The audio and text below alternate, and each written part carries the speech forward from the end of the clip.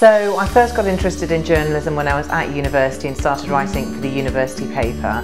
But I discovered a true love for TV journalism, funnily enough, when I appeared on a TV show Blind Date when I was also a student. And I discovered a real passion and love for sort of how TV worked in a live studio environment. I moved to Sky uh, about 10 years ago and initially worked as a reporter there, but just for a few months, and then uh, had one of those proverbial stories where somebody went sick overnight and I got the phone call saying, can you come in and present as the overnight presenter? We've got a free slot.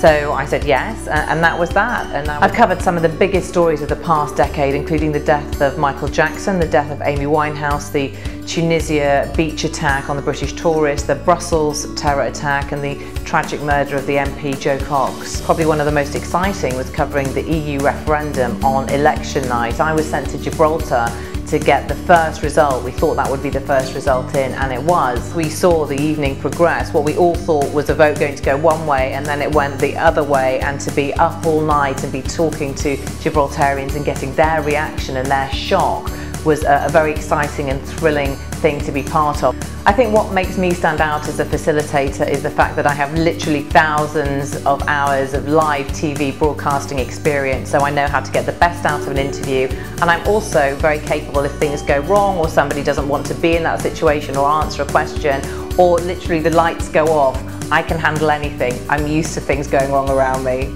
As well as being a facilitator, I'm also a keynote speaker. I've given talks on the challenges of being a working mother, the work-life balance myth and the glass ceiling. I've also given talks on Brexit and the US elections. I think for any working parent, it's, it's a tough balancing act. We all work these days and we all have uh, pulls on us in terms of our family lives and it's a juggle and I think it's difficult for everybody. Um, what I try and do is carve out specific family time where at the weekends or in the evenings when we know we're all going to be together. We're all juggling so many balls and at times they get dropped and at times we all make mistakes and forget things and I think for all working parents the key is to not put so much pressure on yourself. I think the fact that it is a male-dominated industry has never really come into my career because when you're on screen, they either want a woman or they want a man, so you're not really competing with the men.